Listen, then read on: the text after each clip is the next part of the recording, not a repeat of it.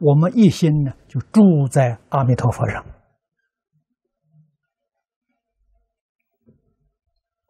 啊，没有分别，没有执着，没有间断，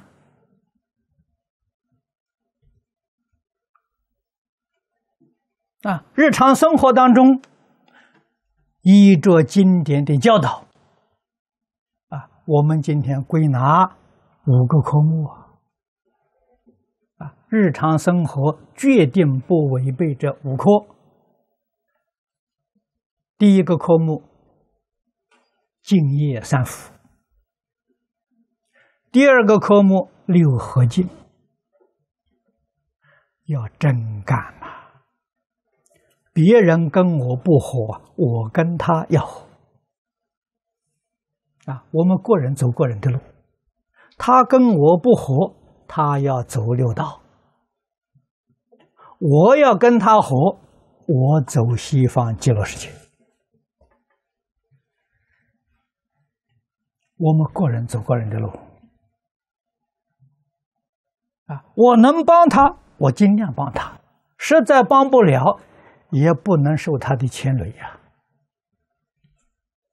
啊，他堕三途，我不能跟他去啊！啊，所以自己应当要晓得。他拼命往山头钻，拉都拉不回来，算了，不拉他吧，让他去吧。这不是不慈悲，不让他去什么，自己就被他拉进去了。啊，所以在这个时候啊，一定要放手。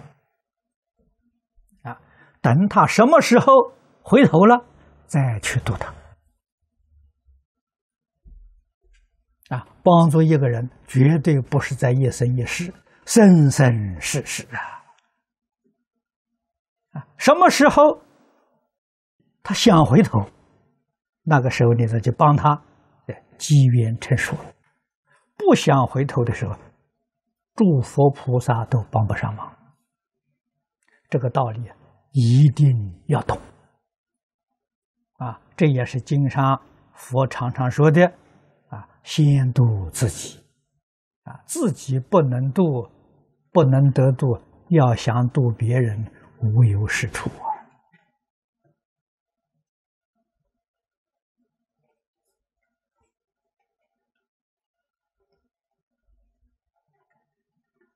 啊！啊，第三个科目，三学，界定会三学，三学，无量寿经上几句话讲的非常具体，善护三业，戒学。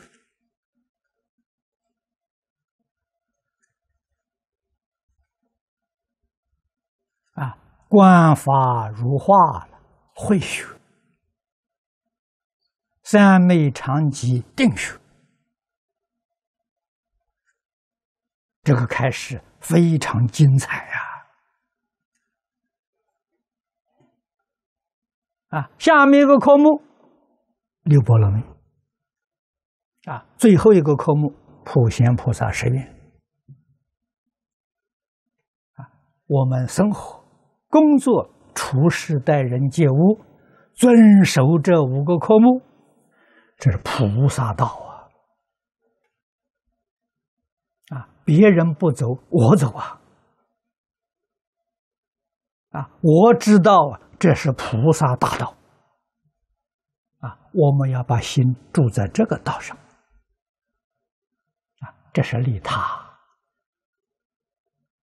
啊！这一句阿弥陀佛是自利，啊，自利跟利他是同时的，啊，自利就是利他，利他就是自利，啊，念念不舍阿弥陀佛。